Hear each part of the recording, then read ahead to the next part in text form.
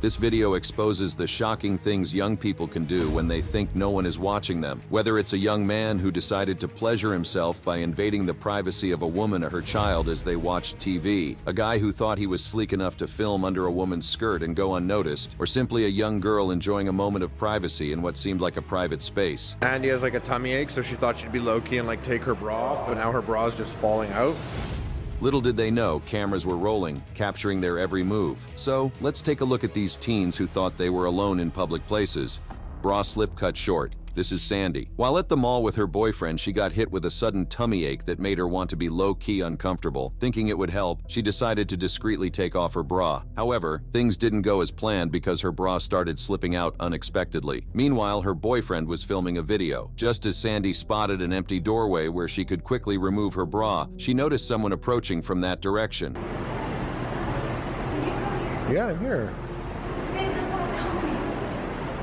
In a split second, she had to think fast and act naturally. With a quick turn, she pretended to be innocently standing there, hoping that the approaching person wouldn't notice her awkward situation. The tension of the moment was palpable as Sandy tried to maintain her composure while her bra threatened to reveal her impromptu adjustment. She silently prayed that the person passing by wouldn't pay too much attention and would just continue on their way. Luckily, the person walked past without giving Sandy a second glance. She let out a sigh of relief, grateful that her quick thinking had saved her from a potentially embarrassing moment. Lesson learned, she made a mental note to be more cautious with wardrobe adjustments in public places, especially when being filmed. Let's move to a teen who learned the hard way that not everything should be filmed.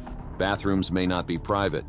Two teens decided that a stall in the bathroom was a safe place for some quick sex. However, they didn't know they were about to go viral for it. Another 17-year-old student in their high school realized that they were getting it and decided to do something very weird. So he took out his phone, recorded what was happening, then took that recording and distributed it on social media and airdrop. When the situation got to the police, he was charged with eavesdropping surveillance, which is a felony that might get him anywhere from one to five years in jail if convicted. The two who were engaged in sexual acts may also be disciplined because they are juveniles. When the news spread wide, many people argued that he should also be charged with child pornography. However, the argument is that since the video did not show any genitals, then it wasn't pornography. This next pulled off a stunt that might make you question their sanity just by imagining it. He's said to have grabbed the woman's behind, shoved a cell phone under her dress. The cell phone was, according to police, recording video.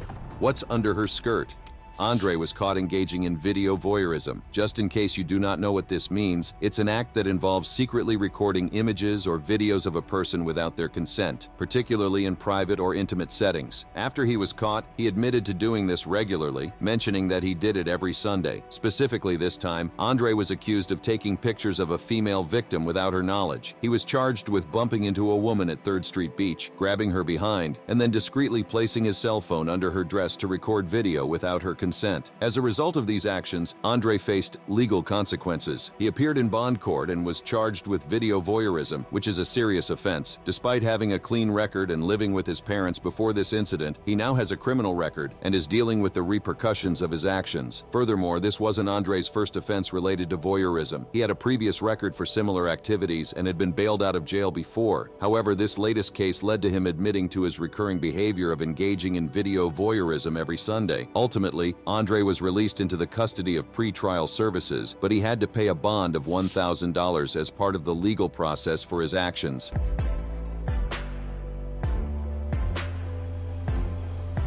Interrupted lone choreography.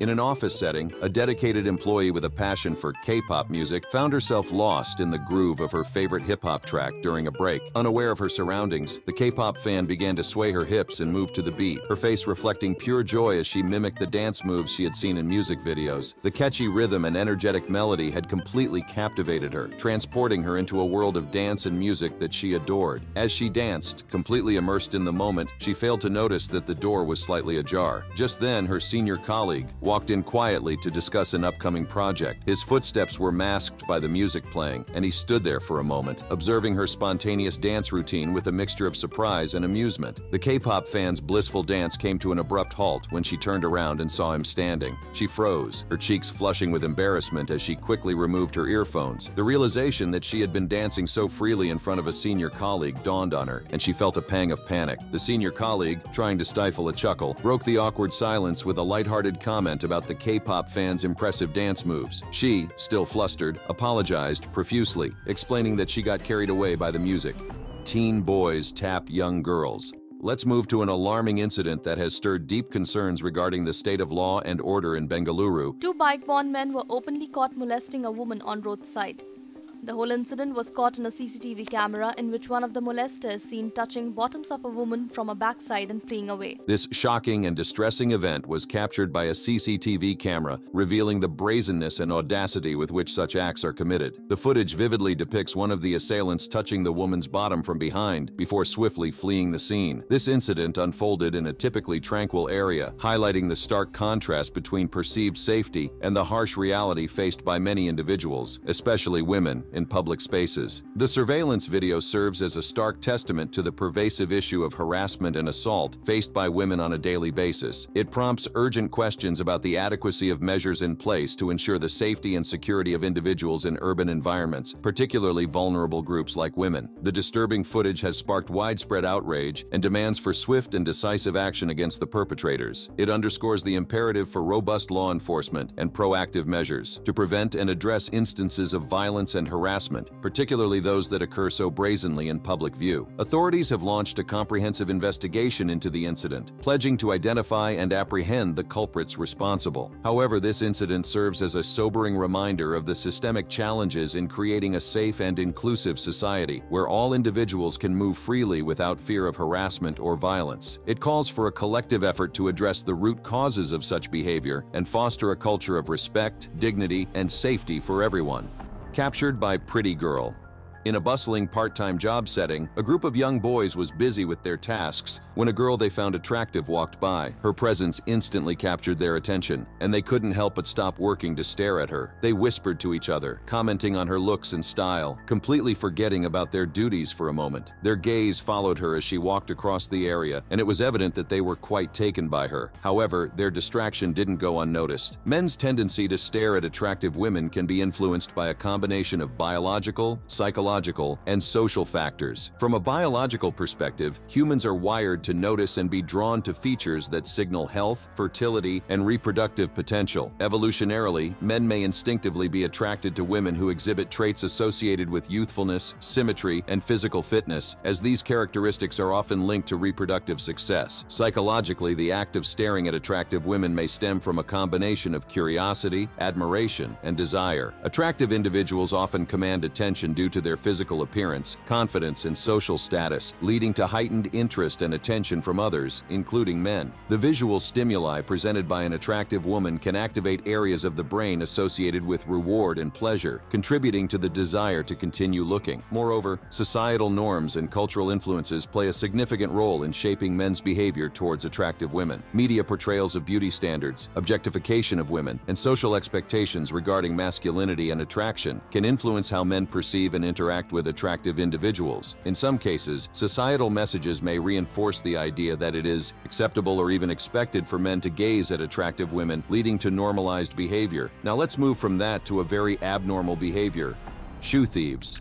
In Singapore, there's a unique tradition when it comes to wearing shoes indoors. Unlike in Western countries where it's normal to wear shoes around the house, Singaporeans often leave their shoes on special racks outside their apartments. This practice is usually hassle-free, but it can sometimes attract the attention of thieves who have a penchant for stealing flip-flops. A recent incident caught on a security camera and shared on Facebook shed light on this unusual theft trend. The video shows two girls quietly and thoughtlessly sifting through someone else's shoes, seemingly trying to find the perfect pair. Interestingly, both girls were barefoot, raising questions about whether they were stealing out of necessity or for some other reason. However, their attempt was short-lived, as they heard a noise that spooked them. Without wasting a moment, the would-be thieves hurriedly fled the scene, leaving behind their failed endeavor.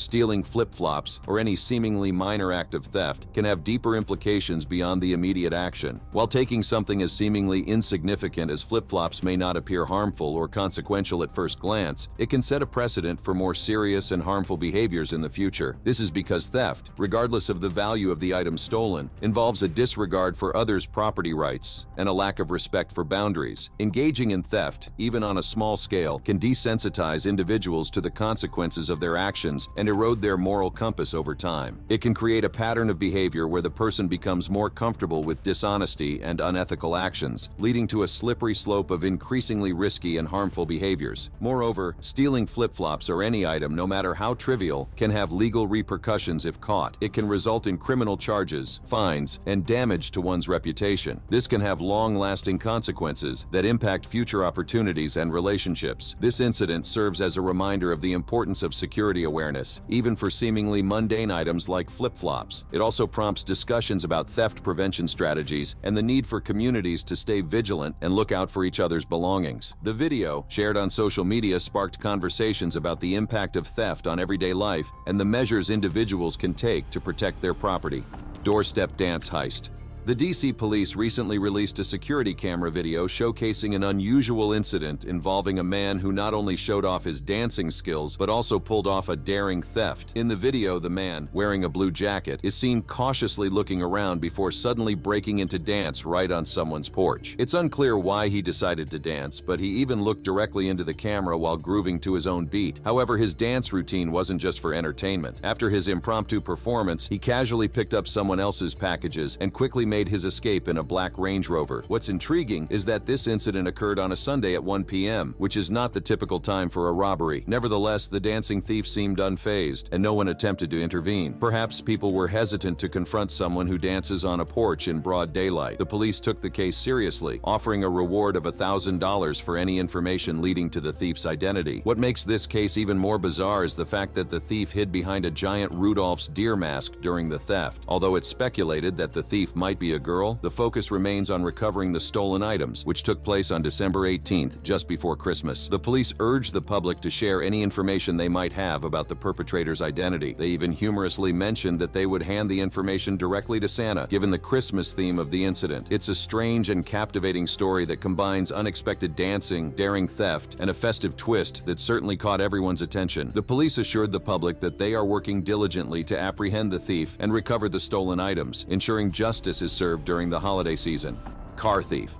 In a small neighborhood off 66th Street, a surprising turn of events unfolded when a 15-year-old teen decided to take a joyride in a stolen car. We've all seen the carnage caused by teens stealing cars. In this case, this teen stole the wrong car and ended up stalled out at the wrong house.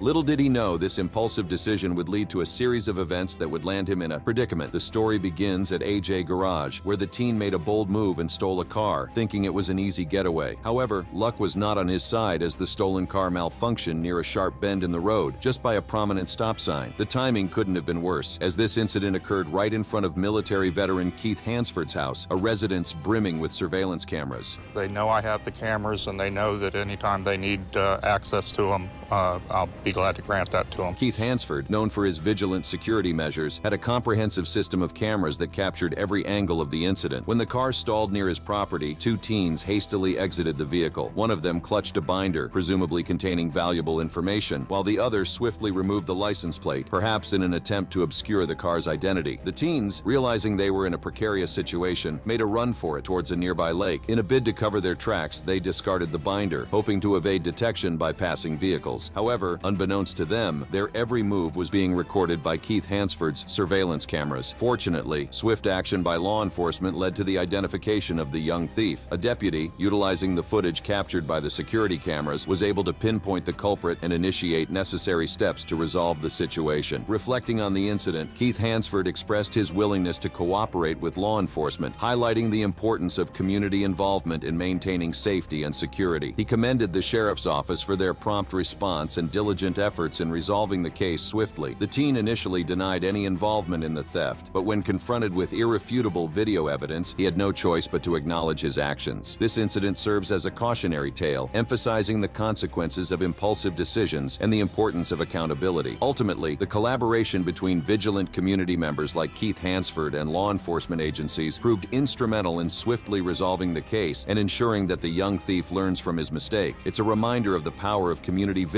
and cooperation in maintaining safety and deterring criminal activities. Frustration turns chaos.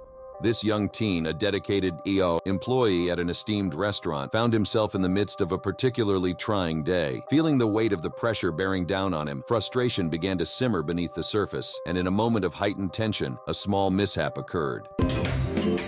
With a sudden burst of anger, he slammed the tray to the ground and then stomped on the nearby table, hoping to release some of the pent-up tension. The consequences were immediate and devastating. The table jolted from the impact, causing bottles of exquisite wine to teeter and then crashed to the floor in a cacophony of shattering glass. The once elegant dining atmosphere was now marred by the mess and chaos created in a moment of unchecked emotion. It wasn't just the monetary cost of the broken bottles that weighed heavily on his mind. It was also the realization that his lack of control control had tarnished the reputation of the restaurant and disrupted the dining experience for everyone present. When people get frustrated, the urge to slam or kick things often stems from a combination of emotional intensity and a need for physical release. Frustration can build up when things don't go as planned or when obstacles seem insurmountable, leading to a surge of pent-up energy and tension. This energy needs an outlet, and for some, expressing frustration through physical actions like slamming doors or kicking objects provides a temporary sense of relief. Additionally, slamming or kicking things can serve as a way to externalize internal emotions. It's a way of visually and audibly expressing feelings of anger, disappointment, or helplessness. The act of exerting force on an object can give a momentary sense of control in a situation that feels overwhelming. It was a humbling experience that underscored the need for composure and mindfulness in the face of adversity, teaching him to channel frustration into productive action rather than destructive outbursts.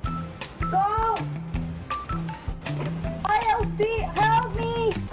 Cat Chase Let's move to this young teen who was walking home one day. As she made her way down the familiar streets towards her house, she noticed a stray cat following her. Unlike some people who might find it cute, she felt scared. The cat's persistent presence behind her sent shivers down her spine, and she quickened her pace, hoping to reach the safety of her home. As she approached her house, her heart racing with fear, she saw the cat still trailing behind her. Without wasting a moment, she hurriedly climbed the pole standing in front of her house. Perched atop the pole, she felt a mix of relief and anxiety, watching as the cat lingered below, meowing softly. Feeling trapped and scared, she began to yell for help, hoping that someone nearby would hear her cries and come to her rescue. The cat seemed curious, occasionally looking up at her, but it didn't leave, prolonging her distress. Many people experience fear or discomfort around cats for various reasons, and these feelings can stem from a combination of factors. One common reason is a lack of familiarity or understanding of cats' behavior and body language. Cats have unique ways of communicating, such as tail flicks, ear movements, and vocalizations, which some individuals individuals may misinterpret as aggression or unpredictability. Additionally, past negative experiences with cats, such as scratches or bites, can contribute to fear or anxiety. Traumatic encounters with stray or feral cats, especially during childhood, can leave a lasting impression and shape how someone perceives cats in general. Furthermore, cultural beliefs and superstitions may play a role in fear of cats. In some cultures, cats are associated with superstitions or myths, such as being omens of bad luck or supernatural beings. These beliefs can contribute to a sense of unease or apprehension apprehension around cats. Moreover, fear of cats can also be linked to specific phobias, such as ailurophobia, which is an intense and irrational fear of cats. Phobias often develop due to a combination of genetic, environmental, and psychological factors, and they can manifest as extreme anxiety or panic when faced with the feared object or situation. After what felt like an eternity, the cat finally lost interest and wandered away. Breathing a sigh of relief, the young teen carefully descended from the pole and rushed inside her house, grateful that she had escaped the unnerving unnerving situation unharmed.